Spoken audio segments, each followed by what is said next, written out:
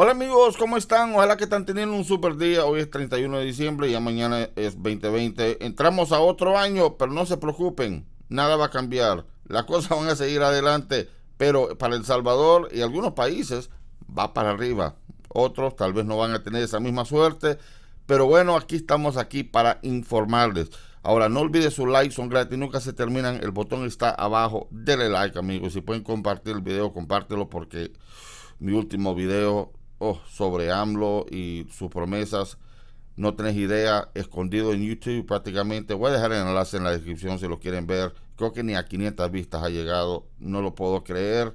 Pero bueno, hay cierto material en YouTube que no sé, como que YouTube no lo tira. Pero bueno, así es la vida. Pero vamos a entrar rápidamente en esto porque hay, tengo mucho, mucho que hablar. Por cuenta, hay periodistas que se sienten desesperados en El Salvador y ahora están buscando organizaciones eh, donde ellos pueden eh, pedir protección. Protección. Ahora, y no es contra la criminalidad o cosas así, eh, es porque se sienten como que Bukele le está causando demasiados problemas. Entonces, vamos a ver exactamente lo que está pasando. Hay una comisión que se llama Comité para Proteger Periodistas, Committee to Protect Journalists. Ah, entonces, ellos como tiran a la luz cuando los periodistas están siendo eh, no sé, acosados o lo que sea. Eh, el problema es que muchos medios de comunicación toman estos artículos y ellos lo duplican y lo tiran en sus periódicos eh, a nivel del mundo. Y un ejemplo es este artículo en Cuba, que prácticamente es el mismo artículo, es la, la revista The Havana Times, el periódico. este eh, creo que este periódico lleva como 10 años ya y fue fundado con dinero del gobierno de Cuba. Parece que se le acabó el presupuesto y ya no, Cuba ya, ya no le da, está dando dinero porque incluso ellos pasan pidiendo dinero eh, para poder sostener este periódico. Pero bueno, sin embargo, ese otro, este es otro rollo. Eh, la cosa es que hasta en Cuba esta noticia está saliendo pero bueno, esta organización eh, está para proteger periodistas. Pero ¿quién es la periodista que se siente mal, que está teniendo muchos problemas? Y es Mariana Belloso del Salvador. Periodista y presentadora de radio salvadoreña, había terminado la jornada de trabajo del 30 de junio y se encontraba en su casa antemano, esta no es una noticia vieja.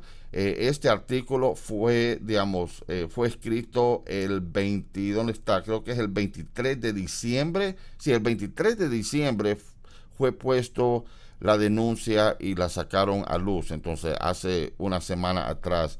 Pero bueno, eh, dice que ella se encontraba en la casa con su, familia cuando el presidente retuiteó uno de sus mensajes. Belloso declaró al CPJ, que es la Comisión eh, para Protección de Journalists, que es periodistas, en octubre. Entonces el abuso comenzó. Dice que desde que Bukele retuiteó algo que ella dijo, ¿ok? Empezó el abuso. Pero ¿de dónde vino el abuso? Vamos a ver.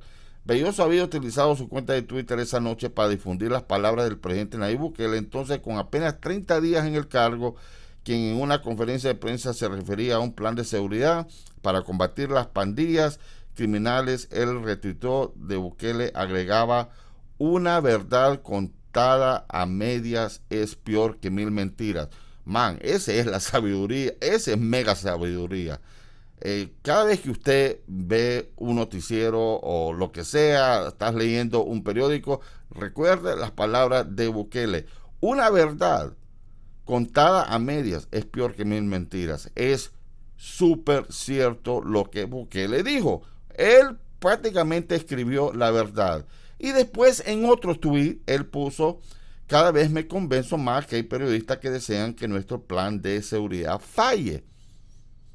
Eso es lo único que él escribió. Él no mencionó a la periodista Belloso, solo escribió eso en otro tweet. Bueno, Belloso, quien ha utilizado Twitter desde hace más de, de 10 años, caracterizó de inusitado el abuso y las amenazas que siguieron pese a que ella había respondido para bajar el nivel de la confrontación. Cuando ella aclaró que el plan de seguridad de Bukele se limitaba a ciertas zonas, Bukele hasta le dio las gracias. Ok, entonces, ¿cuál es el problema?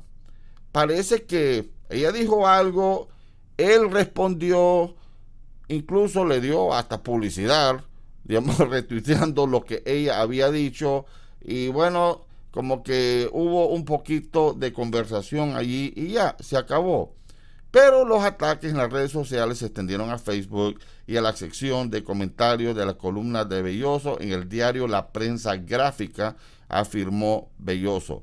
Un tuit publicado en julio preguntaba cómo se sentiría ella si el plan de seguridad fallaba y ella era, ya saben, según la copia del archivo de tuit revisada por el CPJ, ella pasó a ser conocida como la periodista que fue atacada por el presidente y sus troles, expresó. Algunas de sus fuentes informativos se negaron a hablar, citando las críticas del presidente. algunos de sus fuentes informativos se negaron a hablar, hablar citando las críticas del presidente. Ay, Dios mío, eh, oh, eh, eh, no podemos hablar, no podemos hablar. tenemos que podemos meternos en problemas con, con, con Bukele, Dios mío. Ok. La periodista sospechaba que la seguían en la calle y hasta contempló abandonar el país. Mire hasta dónde ella está tirando esta situación. Cuando el presidente te señala y te pone en un lugar para que todos te ataquen, no hay equilibrio de poder, dijo Belloso cuando el presidente te señala, él restituyó algo que ella había dicho y solo dijo la frase que una media verdad es peor que mil mentiras. Digamos, si, mire, ustedes mismos saben que si vas a publicar algo en las redes sociales, hay circunstancias van a ser positivas o van a ser negativas. Y si sos periodista, oh, sí, tenés el derecho de hablar, de decir todo, de, ser negativo, de, atacar, de lo que sea, pero mm, ¿cuál es el problema que no vas a soportar que te digan cosas también, digamos, wow? Es como que estás gritando de un lado de la pared, pero la persona en el otro lado de la pared no te puede regresar el grito. Ok. Dice que durante la gestión del presidente Salvador Sánchez Serén, quien ocupó el cargo entre 2014 y 2019, había más respeto por el papel de los periodistas de parte de la presidencia. Bueno, entonces por cuenta ellos tenían una mejor relación con el presidente eh, Salvador Sánchez Serén y estaban súper felices con él a saber cuánto dinero del gobierno estaba yendo a estos periódicos, entonces estaban muy felices con él. Había más respeto por el papel de los periodistas de parte de la presidencia, declaró eh, CPJ Fabricio Altamirano, director y presidente de uno de los mayores periódicos del país, el Diario de Hoy. Me gustaría saber si eso es cierto, si el Diario de Hoy es uno de los periódicos mayores del país eh, de El Salvador, porque por cuenta tenían una relación súper bonito con Salvador Sánchez Serén. No había obsesión con presentar el relato oficial del gobierno como la única verdad, como la hay ahora. Entonces el director de este periódico está diciendo, hey, nosotros no teníamos que presentar lo que el gobierno eh, anunciaba, digamos, hey, no teníamos que presentar, nosotros podemos tomar esa información y nosotros interpretarlo y así el pueblo creer lo que nosotros está diciendo. No, no es suficiente que el pueblo pueda usar su coco, su cerebro para poder interpretar lo que algún gobernante está diciendo, creerle o no creerle. Eh, ahora eh, es una obsesión que nosotros tenemos que presentar exactamente lo que el gobierno está diciendo. Qué ridículo. Qué, ¿Qué, es lo que está diciendo este man? Y varios periodistas salvadoreños declararon, varios periodistas, varios. Entonces, no solo es Belloso, hay varios periodistas que están, han buscado esta organización para ayuda. Han declarado que habían recibido amenazas en las redes sociales por dar cobertura a las medidas de Bukele contra las pandillas y otros hechos políticos desde que Bukele asumió el poder. Si bien que no hay pruebas, escuche esto, si bien que no hay pruebas, si bien que no hay pruebas, solo ahí debería parar, pero no. Si bien que no hay pruebas que el presidente les ordene, ordene a otras personas acosar a la prensa en las redes sociales, estos periodistas sostuvieron que Bukele denigra abiertamente la profesión y sus representantes y no hace nada por frenar el abuso. ¿Qué va a hacer? ¿Qué va a hacer el presidente cuando un periodista abre la boca y empieza a hablar tonterías y la gente responde y quieren que el presidente se pare y que defienda? No, man. Hay un dicho en inglés que dice que cada uno hace su cama. No sé si, si es un dicho en español. Pero uno hace su cama. Las señales no son buenas, declaró Nelson Rauda Sabla, periodista investigativo de El Faro, el primer medio noticioso completamente digital de El Salvador, refiriéndose a la libertad de prensa en el gobierno de Bukele. El presidente Bukele no quiere periodismo independiente, declaró al, a la comisión Fernando Romero del sitio noticioso Revista Factum. El presidente Bukele no quiere periodismo independiente. Es lo que Bukele quiere. Es lo que él quiere. Él quiere periodismo independiente. Él no quiere estos periodistas que son manejados por corporaciones y por personas en altos lugares que le están diciendo a estos periodistas qué es lo que tienen que escribir y qué es lo que no le quieren escribir. Él quiere periodistas que piensen por ellos mismos. Bukele es un maestro de Twitter y Facebook, declaró eh, al CPJ, que es la comisión, en noviembre en entrevista telefónica con Tim Muth, abogado que se mueve entre Wisconsin y San Salvador y autor del blog El Salvador Perspectives. Si Bukele dice que alguien es el enemigo de los que desea lograr, sus seguidores en las redes sociales actuarán de acuerdo con eso. Bueno, yo no he leído tweets donde Bukele menciona a cierta persona y dice esta persona es nuestro enemigo aquí en El Salvador. Digamos, si estoy equivocado, díganme amigo.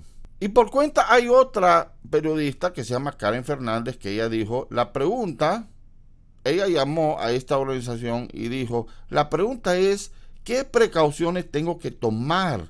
Le declaró a la comisión en noviembre en entrevista telefónica Karen Fernández, presentadora de Focos TV. Al igual que Belloso, ella se convirtió en un objetivo en junio cuando criticó las condiciones de los prisioneros arrestados de conformidad ah, con el plan de seguridad de Bukele, afirmó la periodista. El tuit que publicó en ese momento decía que Bukele había retuiteado su comentario sin ofrecer su análisis completo. Cientos de sus seguidores me respondieron con amenazas y desacreditación de mi trabajo, decía el tuit. Wow, ¿sabe que yo creo que estos periodistas van a tener que dejar Twitter? Ellos no entienden Twitter. Ellos no entienden que, que ellos ya, digamos, cuando ellos escriben en su periódico, tal vez poca gente los lee, pero cuando escriben en Twitter, tiene acceso a millones de personas y no aguantan, no aguantan. ¿Cuál es el dicho? Si no aguantas el calor, salite de la cocina, man. Los periodistas entrevistados por la comisión no pudieron apuntar a ninguna investigación que, que que Bukele controla o incentiva cuentas de Twitter que amenazan a periodistas. No obstante, su influencia sobre el discurso en la plataforma es evidente. En julio, por ejemplo, una cuenta de Twitter que utiliza el nombre Lasmen compartió una imagen que exhortaba a sus casi 2.000 seguidores. ¡Wow! A ignorar, mutear o bloquear eh, a Fernández Belloso y a Bessie Ríos, una activista de las redes sociales cómo se ofenden una cuenta que tiene dos mil seguidores. Amigos, no es que me burlo de dos mil seguidores, pero no es la gran cantidad de gente en una red social. Y esta cuenta viene y dice, hey, ¿sabes qué? Bloqueen estas periodistas, bloqueen estas activistas, bloqueenlas, ¿ok? Bloqueenlas, de, no lea lo que tienen que decir. Y ellos están denunciando esto ante esta, ante esta comisión.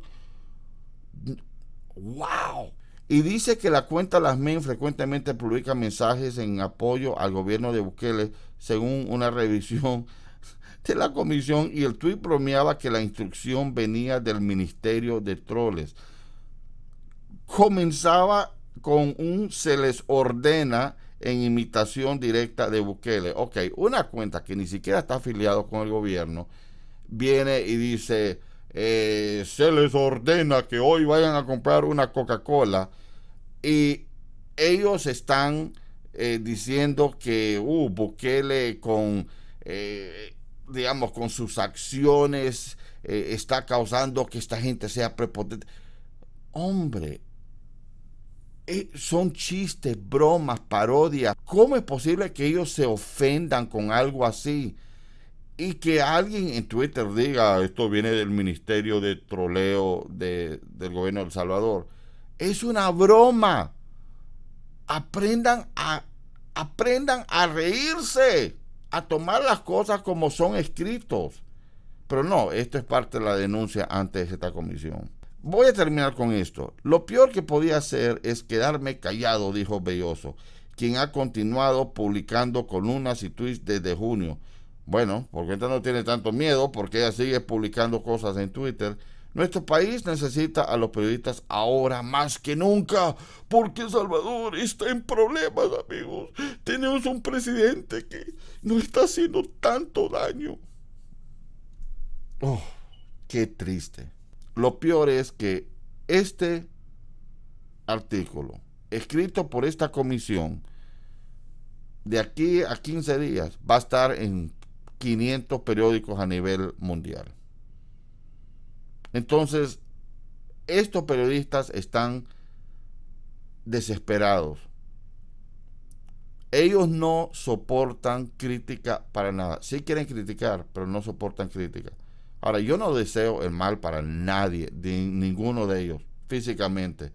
Pero, man, en el mundo de la comunicación, verbalmente, si usted va a tirar, tenés que estar listo a que te tiren. Si no, salite del partido, del juego.